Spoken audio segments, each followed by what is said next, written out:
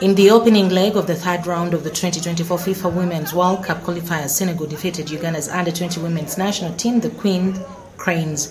The 42nd mini goal of Asisatu Crispa gave the home team a 1-0 victory in the match on Saturday at Stade Lat Dior.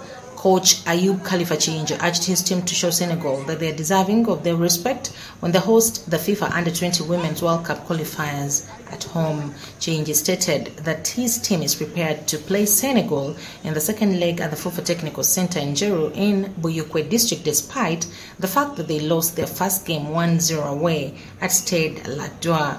Uh, I would like to thank the Almighty for the last training we have had. I'm grateful we don't have anyone who is injured.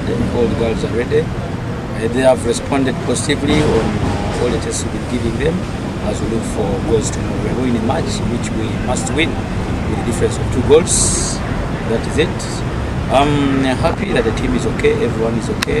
The mood in the camp is very fine, and I'm very optimistic that we are going to have good results tomorrow. Um, Hadija Nandago, Captain Prince.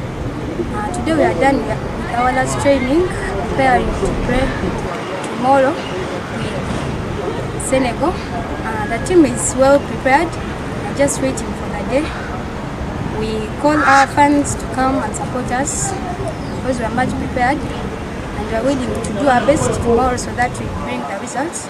And The winner will face either Eswatini or Ghana in the fourth round. Ghana thrashed Eswatini 6-1 in the first leg and the two sides will have to face off on Sunday in the return leg.